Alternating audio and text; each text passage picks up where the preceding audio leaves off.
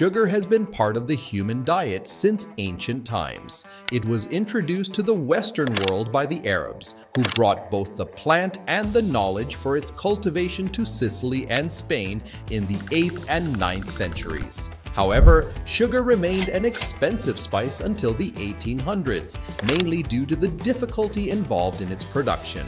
But the Industrial Revolution changed all that, and now the industry is worth $67 billion.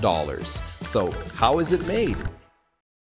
In the US, an estimated 55 to 60% of all the sugar produced comes from beets, while the rest comes from sugarcane. Interestingly, both these sources need different weather conditions to grow. Sugarcane is primarily grown in tropical and subtropical regions, while sugar beets are cultivated in cooler climates. The process starts with choosing suitable land for farming. The land should have good drainage, access to water, and fertile soil.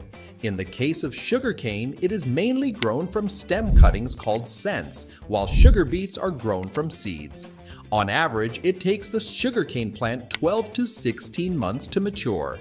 Once it does, it's time for the harvest season. In the US, the harvesting of sugarcane is done with specialized machinery.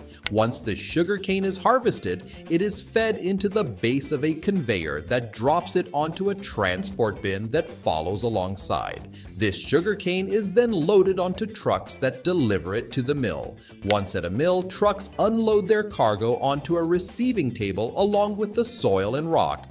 But for it to be ready for the next step, it must be as clean as possible. For this purpose, the cane is put on a conveyor belt that moves the cane through strong water jets and combing drums to remove large amounts of rock, trash, and leaves. Then, the cane's hard structure is broken down in a crusher, where rotating hammers smash the cane into smaller pieces. The crushed cane is then put into a milling tandem that's designed to squeeze out the sweet juice from it.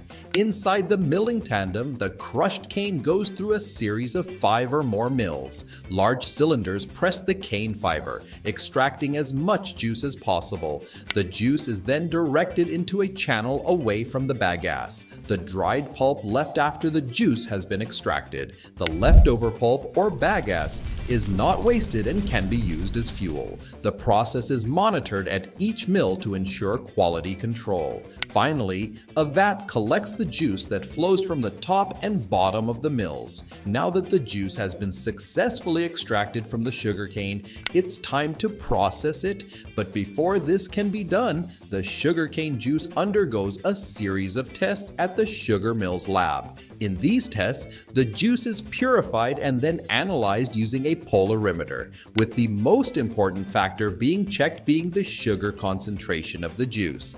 This is done for various reasons. It not only ensures consistent quality, but also helps improve processing, determines sugar yield, sets fair prices, meets regulations, and supports scientific research and development. The sugarcane juice then flows down a 10 meter high tower while sulfur dioxide vapors rise through it. This method is called sulfitation. It keeps the juice fresh by stopping the growth of bacteria and also evens out its slight acidity. In a separate container, workers mix powdered lime with water to make a solution, which they later combine with the juice. A device stirs the cane and lime juice together for about 6 hours to finish a process known as alkalization. This step adjusts the juice's pH level and makes it clearer. Due to the lime, the color of the juice changes from brown to yellow. Then, the juice moves to tanks for clarification to remove any remaining dirt. The juice needs over 2 hours to settle, allowing the dirt to sink to the tank's bottom.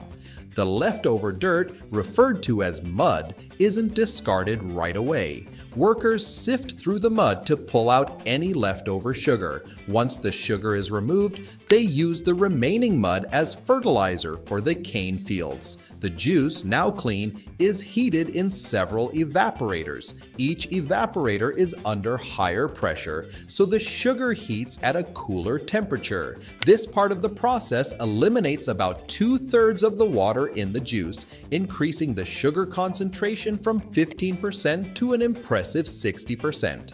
Afterward, the juice is stored in 15-ton tanks to further remove impurities.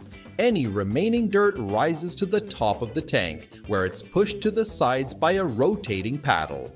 The final tank produces a type of syrup with 65% solids and 35% water. Crystallization is the next step in sugar manufacturing. This process happens in a single stage vacuum pan where the syrup is evaporated until it is saturated with sugar. Once the saturation point is exceeded, workers introduce sucrose crystals suspended in alcohol into the syrup. These sucrose crystals act as seed crystals that provide a surface for new sugar crystals to form. By adding these seed crystals to the syrup, they serve as nuclei for the crystallization process, initiating the growth of new crystals more quickly and uniformly. The growth of the crystals continues until the pan is full. When the sucrose concentration reaches the desired level, the dense mixture of syrup and sugar crystals, called massecuite, is moved into large containers known as crystallizers. Crystallization continues in the crystallizers as the massecuite is slowly stirred and cooled.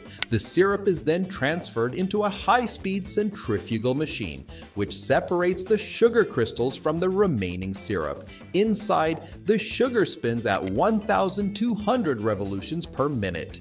The mother liquor, or molasses, is filtered out from the sugar crystals, which stay inside the perforated centrifugal basket while the molasses drains away.